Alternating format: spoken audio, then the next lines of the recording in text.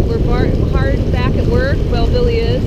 We got a lot of projects on the boat, and uh, that's why we put a lot of miles on bamboo this summer because we wanted to shake it out and almost break things, which uh, we now our list is longer, and uh, we have some engine things to take care of. And what do you think? We're gonna go out and take a break from the action. We've been busy since we got back from Catalina.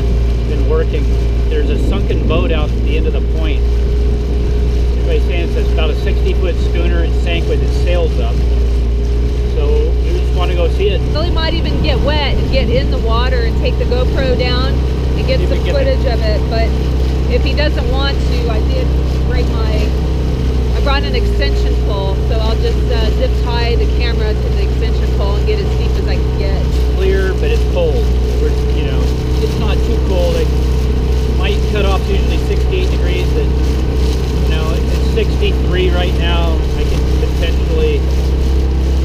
Forgot I bought my trunk. It's gonna be a fast dive. But um, a friend of ours actually showed us a picture of the boat. He went out surfing to Ralph, which is a surf break right on the point of Point Loma, and uh, it looked really creepy because the sails were even still up. And we have a little bit of the story. We got a little feedback today of what, of what happened, so we'll share that with you. But we got a long dinghy ride, and once we get out of once we get out of the little harbor here and into the main bay of San Diego, we'll, we'll be able to go full throttle. So come join us watch the, uh, the sunken ship.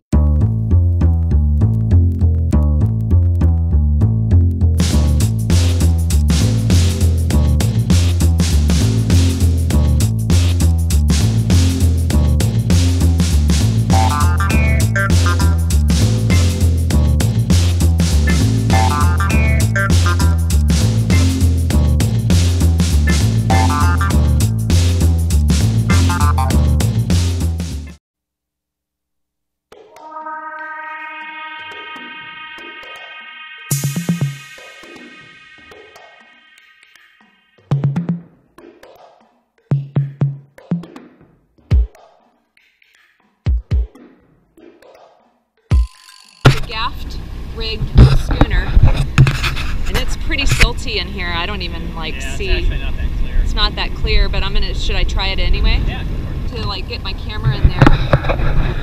Ooh, this is so creepy. I mean, I've seen a marina before, This is very different. but out on the out on the point here. That we're gonna be able to see anything. The boat actually, I think it's still moving.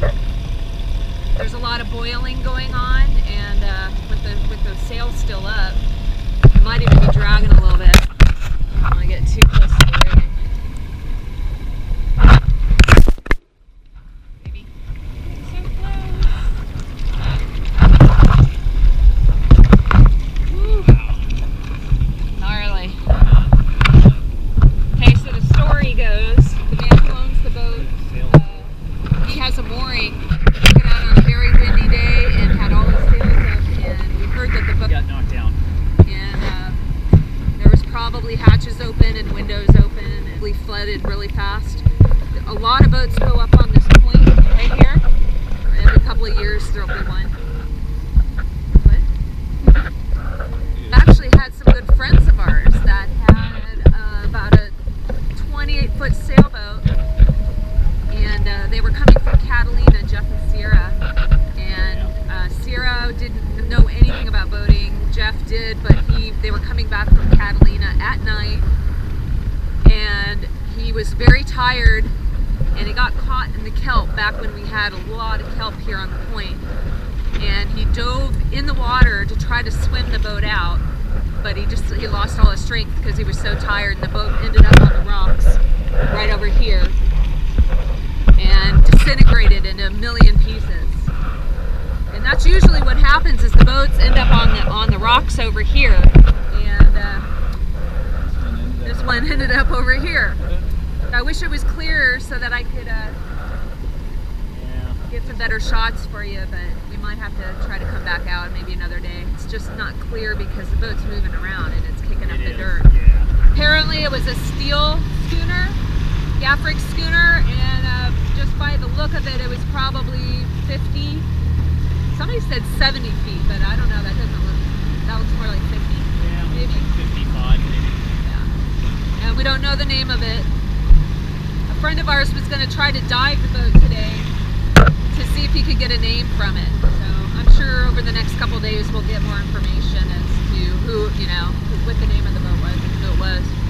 Pretty creepy. I don't know. Yeah, it is kind of eerie. I, I don't think I would dive it.